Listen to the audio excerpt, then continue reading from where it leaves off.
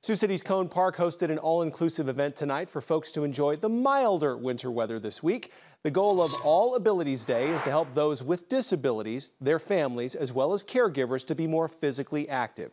In spite of the below zero temperatures last week, the temperature did rise just enough for some winter fun today for all who attended. We've more than doubled our numbers, and I do think it's probably because people were cooped up inside for the last several weeks.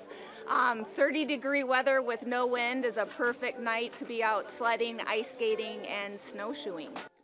The event was a great excuse for all to enjoy the much nicer winter weather.